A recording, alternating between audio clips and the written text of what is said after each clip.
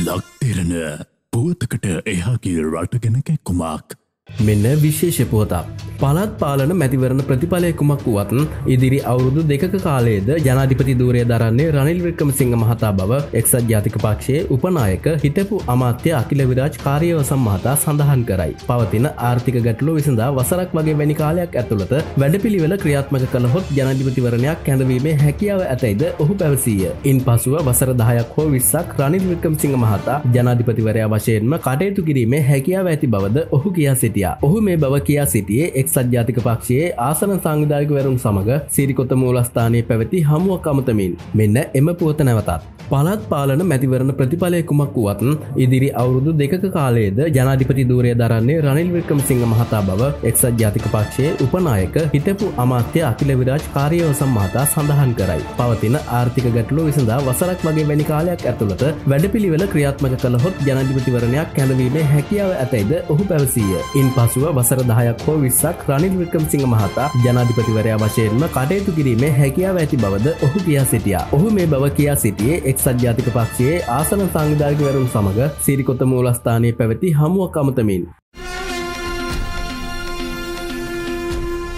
ලක්තෙරණ පුවතකට එහාගේ රටගෙනක කුමක්